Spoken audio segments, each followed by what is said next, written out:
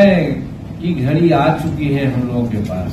जब सचिन पायलट अशोक गहलोत के अगेंस्ट में अनशन कर सकता है, आंदोलन कर सकता है तो जीतन मांझी क्या नीतीश कुमार के अगेंस्ट में नहीं बिहार के सियासी गलियारे में इन दिनों इफ्तार पार्टी का आयोजन किया जा रहा है।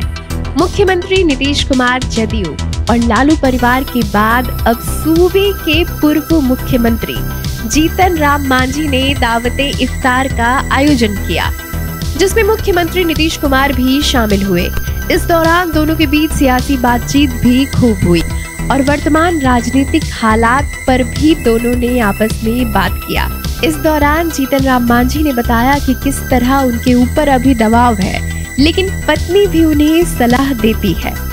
पूर्व मुख्यमंत्री जीतन राम मांझी के दावते इफ्तार में जब सीएम नीतीश कुमार शामिल हुए तो पारिवारिक और राजनीतिक दोनों मुद्दों पर आपस में चर्चा हुई।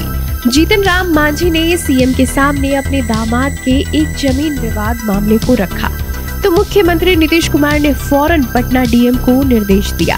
वहीं मीडिया से बातचीत के दौरान जीतन राम मांझी ने सियासी हलचल को लेकर भी बयान दिया।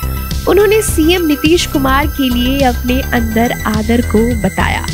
मीडिया रिपोर्ट के अनुसार जीतन राम मांझी ने हम की राष्ट्रीय कार्यकारिणी बैठक में कहा था कि उन पर बहुत दबाव है। लोग उन्हें अपने पास बुला रहे हैं। मांझी ने कहा कि अब फैसला लेने का समय आ गया है। हालाँकि बाद में जीतन राम मांझी ने ये भी कह दिया कि वो नीतीश कुमार के ही साथ रहेंगे।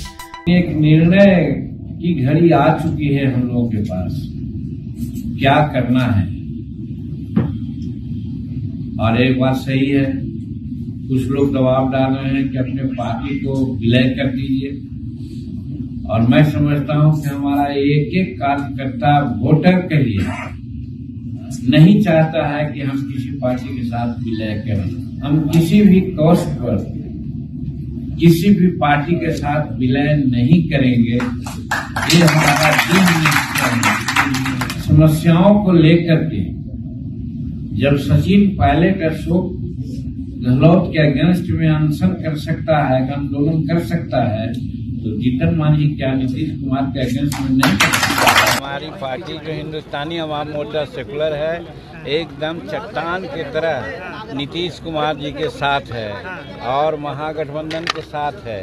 और सबसे बड़ी बात है कि नीतीश कुमार यदि महागठबंधन छोड़ते हैं तो जीतन मांझी भी उनके साथ चला जाएगा। कहने का मतलब हम नीतीश कुमार के साथ प्रभात खबर डॉट कॉम विश्वास वही रफ्तार नहीं